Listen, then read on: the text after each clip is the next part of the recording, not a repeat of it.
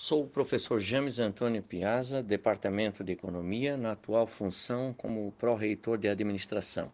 O tema que nós vamos falar nesta semana está relacionado o que, que é como evitar o desperdício em casa. Desperdício, em primeiro lugar, é uma parte do que da nossa renda que se nós administrarmos bem, sobra como poupança ou para comprar outros itens relacionados ao meu dia a dia. É, isso sem falar que o seu bolso é diretamente impactado. Você já parou para pensar que o dinheiro que vai para as contas de água, luz, telefone, supermercado estão deixando de gerar patrimônio e segurança financeira para toda a sua família?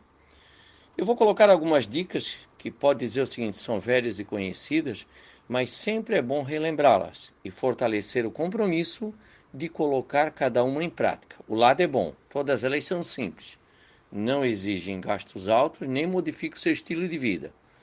Simplesmente o que quer é uma nova forma de eu administrá-las. Primeiro, em relação à energia elétrica, apague a luz ao sair de qualquer compartimento da casa. Segundo, utilize lâmpadas com menor consumo. Terceiro, não deixe a porta da geladeira aberta por muito tempo. Quarto, desligue os eletrodomésticos quando não estão sendo utilizados. Um exemplo: ferro elétrico, chuveiro, que são os utensílios que mais consomem energia. Quinto, não fique horas e horas no computador. Sexto, verifique e acompanhe mensalmente a sua conta de energia, observando se a leitura do medidor está correta e se o consumo apurado é compatível com o valor cobrado. Outro item relacionado está com a fatura da água. Verifique e acompanhe mensalmente sua conta da água, observando se a leitura do medidor está correta e se o consumo apurado é compatível com o valor cobrado. Outra dica: evite torneiras pingando. Outra, utilize vasos sanitários com registro de descarga mais econômico. Outra, não deixe a torneira aberta ao ensaboar as mãos, escovar os dentes, ensaboar o corpo durante o banho e fazer a barba. Outra, fecha a torneira ao ensaboar a roupa. Outra dica: lave a roupa pesada na máquina de lavar só uma vez. Outro item que nós podemos também economizar está relacionado o que, que é a parte do telefone. Vamos dar algumas dicas. Confira detalhadamente a sua conta telefônica e não deixe que ela se torne impagável. Fale somente o necessário, seja objetivo e vá direto ao assunto. Utilize os horários com tarifas mais baratas. Fique atento às promoções e vantagens. Ligue de celular para celular e de fixo para fixo. Outro item que nós podemos economizar está relacionado ao gás. Observe a existência de vazamento.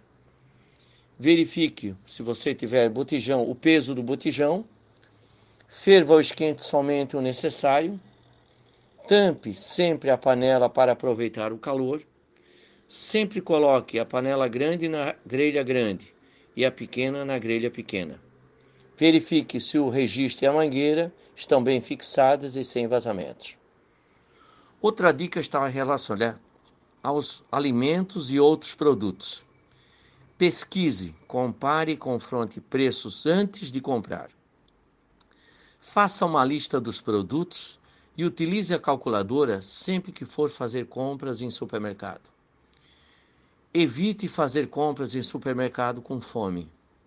Não compre por impulso, para impressionar alguém ou porque está na promoção.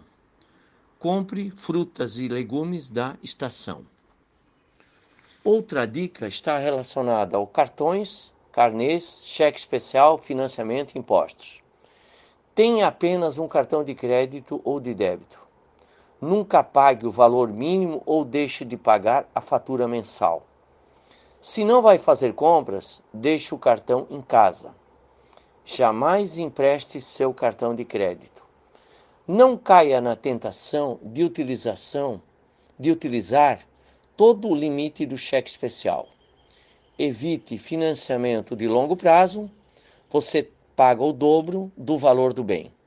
Confira, pergunte, Calcule comprar as taxas de juros que incidem no financiamento de imóveis, veículos, bens de consumo, empréstimo pessoal ou consignado. Pague seus impostos em dia. Até o nosso próximo encontro.